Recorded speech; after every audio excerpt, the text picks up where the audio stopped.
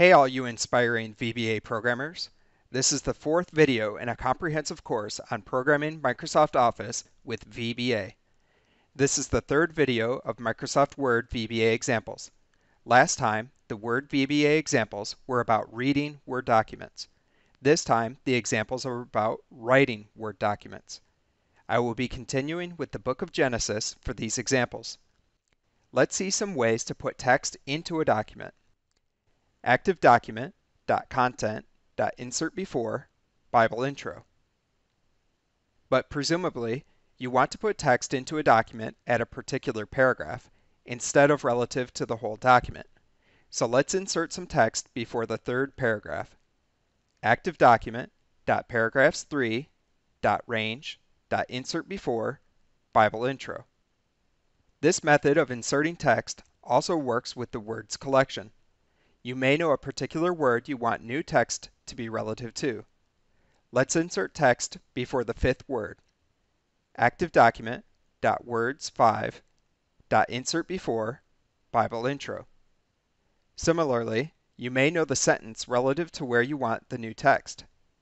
Let's insert text before the sixth sentence. Active document sentences 6 insert before Bible intro. We have been inserting new text, but not changing any existing text. Let's change the first paragraph from the first book of Moses called to book 1. Active document paragraphs 1 range text equals book 1. And let's change the ninth word of the document from Genesis to dawn. Active document words 9 text equals dawn. But if you are changing text, it is more likely that you know the text you are replacing rather than a word, paragraph, or sentence number. So you can use the find object. Let's repeat the last example, replacing Genesis with dawn, but using the find object. Active document content find execute Genesis replace with colon equals dawn. Actually, this will replace all the instances of the word Genesis with the word dawn, and perhaps you only want to change one. So let's modify the last example. Active document content find execute Genesis, comma, replace with colon equals dawn, replace colon equals word replace dot word replace one. Another way to change text is through whatever is highlighted. So let's change in the beginning to at first. Highlight in the beginning and then run this code.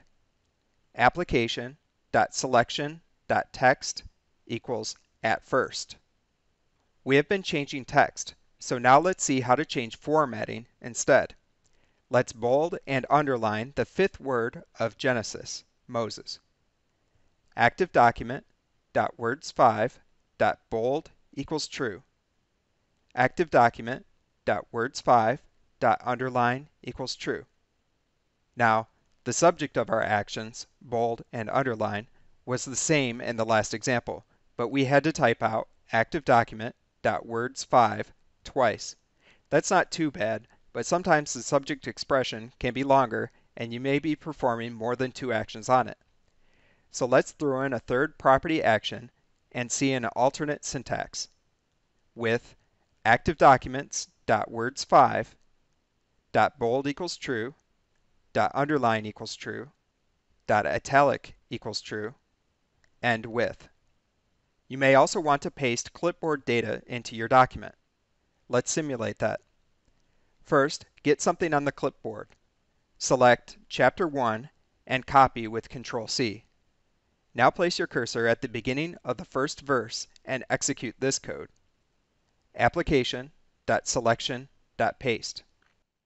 You can also paste from the clipboard into words, sentences, or paragraphs that don't have a selection. For instance, we can paste the clipboard data over the first word. Active document.words1.paste. Or you can paste the clipboard data over the first sentence. Active document sentences1.paste. Or you can paste the clipboard data over the first paragraph. Active document paragraphs1.range.paste. Notice there is a slightly different way for accessing the paragraphs. I want you to see examples first.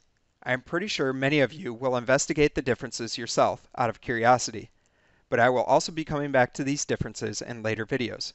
My intent is examples first, theory second. Last time the examples were about reading Word document data. These examples started our investigation into writing Word documents. Next time will be examples of using multiple documents. If you have questions, just keep watching the videos. The point is to show examples first, and then with those examples in mind, I will go over the concepts in later videos. Try to watch these videos with your friends because it will be much easier to learn by collaborating. If this video helped you, give it a thumbs up and subscribe.